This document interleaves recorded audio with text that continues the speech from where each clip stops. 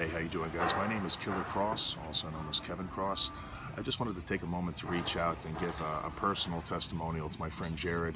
Uh, I think a lot of people are going to approach Jared um, in these types of reviews from a professional standpoint, but I'd like to do something a little bit differently at the present time and kind of talk to you personally about Jared. Uh, Jared, I hope you're okay with this.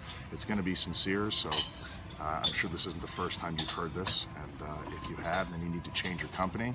Uh, perhaps if you need them exterminated, you can contact me personally. Um,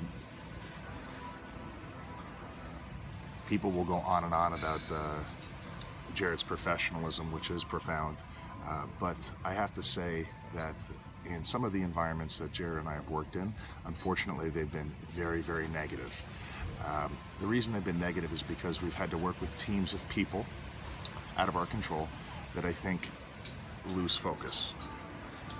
I, have always known Jared uh, to be someone whose job has been to bring out the best version of a person or, or a product.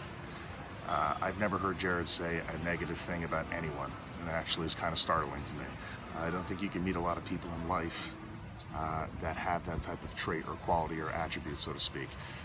No matter what the circumstance is, no matter what the situation is, Jared has always been positive, uh, which is not something that you can teach.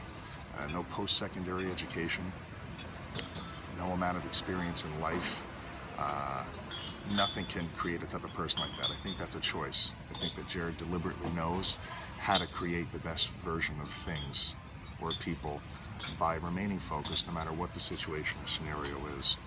Um, and uh, Jared, I just want to personally say thank you uh, for the years of help that you provided to me, even after um, we've wrapped uh, projects and so forth together.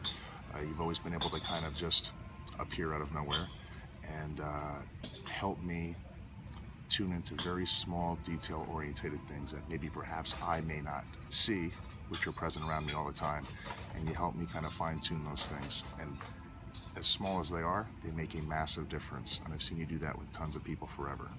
Um, if you've had a lot of experience with Jared, or you've had a little bit, you'll know exactly what I'm talking about. And if you have an opportunity to work with him, I'm going to encourage you to do so, uh, because he's a rarity. And all aspects of life. So thank you very much, Jared, and uh, look forward to seeing you again, buddy. Hope all is well.